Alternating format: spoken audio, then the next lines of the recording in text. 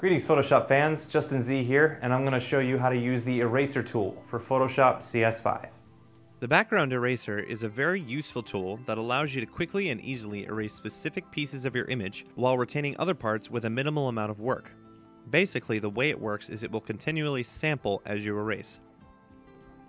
Click on the background eraser tool by selecting the regular eraser tool and clicking and dragging down on the submenu until you see the background eraser tool.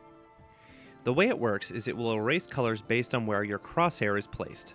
If you place your crosshair on the red behind this parakeet, but part of the circle in the parakeet itself, it will delete the red but not the yellow.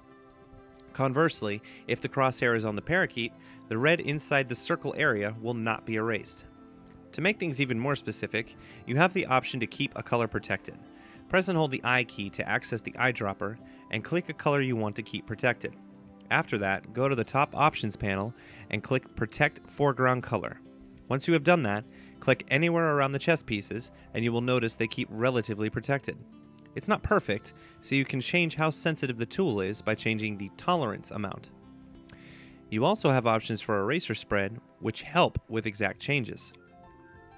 This can be really useful for isolating images for selection or quickly getting rid of backgrounds. You can make a duplicate layer of your image, delete everything you need to get rid of, and use that as a fully changeable image. Thanks for watching. You can send any questions or requests for Photoshop to requests at mahalo.com, and please be sure to rate, comment, and subscribe below.